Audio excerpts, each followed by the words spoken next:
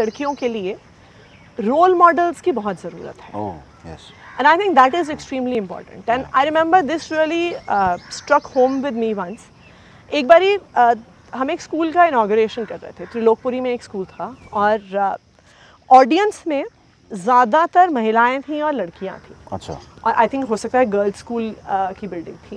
तो लड़कियाँ थीं और अक्सर उनके साथ उनकी मदर्स आती हैं फादर्स काम पे होते हैं। हम्म, तो ऑडियंस तकरीबन 80-90 परसेंट महिलाओं की। अरे वाह। लेकिन अगर आप स्टेज पे देखिए तो स्टेज पे मुझे छोड़ के बाकी सारे लोग पुरुष थे। हम्म, और मैं ये सोच रही थी कि उस ऑडियंस में जो लड़की बैठी है हम्म, जो स्कूल में पढ़ रही है जो सपने देखना चाहती है कि मुझे लाइफ में बड़े होके कुछ बनना है उसके लिए ऐसे रोल मॉडल देख पाना कि स्टेज क्योंकि वो चीज़ है स्टेज वहाँ पे है जो पहुँच गए हैं जो अचीवर्स हैं जो डिसीज़न मेकर्स हैं।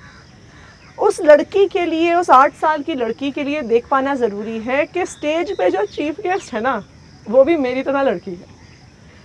एंड आई थिंक ये रोल मॉडल्स होना बहुत ज़रूरी है। कितनी ज़रूरी ऑब्जर्वेशन है? Absolutely and I think even in politics अगर ज़्यादा मुझे लगता है ज़्यादा महिलाओं का पॉलिटिक्स में आना इसलिए भी ज़रूरी है। For girls who are studying in colleges for girls who are studying in schools अब अक्सर जैसे हम स्कूलों में बहुत जाते हैं तो स्कूलों में आप कभी भी लोगों से पूछो ना खासकर लड़कियों से कि आप क्या बनना चाहते हैं? वो ज़्यादातर कहती हैं कि हम टीचर बनना चाहते हैं। क्यों? क्योंकि उन, उनके सामने जो बेस्ट वुमेन रोल मॉडल्स हैं, वो उनकी टीचर्स हैं। जो एम्पावर्ड हैं, जो इंडिपेंडेंट हैं, जो कुछ कर रही हैं, जो लोगों की लाइफ को इन्फ्लुएंस कर रही हैं। So they are the role models for those girls who are eight years old ten years old thirteen years old तो उनको लगता है कि हमें बड़े होकर टीचर बनना है।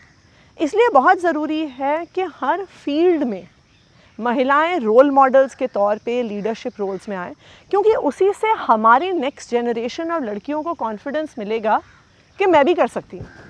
वरना जब वो हमेशा टीवी पर स्टेज पर पोडियम पे सिर्फ़ पुरुषों को देखते हैं तो उनको भी कहीं ना कहीं मन में लगता है कि यार, ये तो लड़कों का ही काम है।